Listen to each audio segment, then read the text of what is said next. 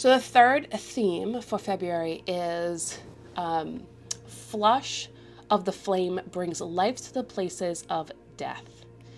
And it's funny because um, that is a word, death is a word that many people fear.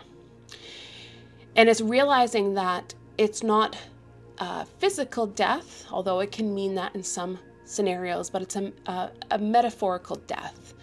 There's parts of us that died off through our conditioning as children, through society, through our jobs, through friends, through family, things of that nature.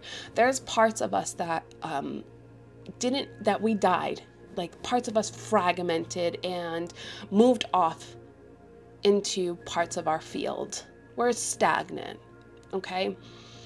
And we need to bring that breath and the heat of our bodies, our blood, and give life back to that. So, what does that really mean? You know, I think of a beaver where a beaver looks at a dam and goes, oh, wow, you know, we got to create this this foundation. And it, and it gets to work. And it's instinctual. It's not uh, conditioned to love or hate it. It just flows with it. Okay, so it recognizes where things need to stop and where things need to flow. Okay, so when we allow that flush of that flame, we really understand that the hunter inside of us, a really good hunter, doesn't just go out and kills everything.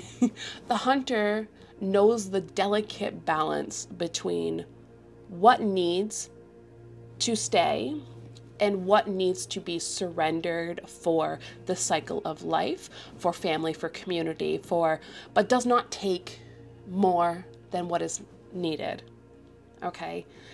And again, it's another way of saying sustainability. Right? What is sustainable for you? So that third week is really about remembering that deep warmth that uh, got you excited as kids and really linked you to your drive or your purpose or your desires as children. And that's going to really come back in terms of like the flush of your face or, you know, sitting by a warm fire and just getting that burst of life, right? We're bringing um, awareness to those places that almost died off within us. And with that comes with the reconciling of those emotions as well.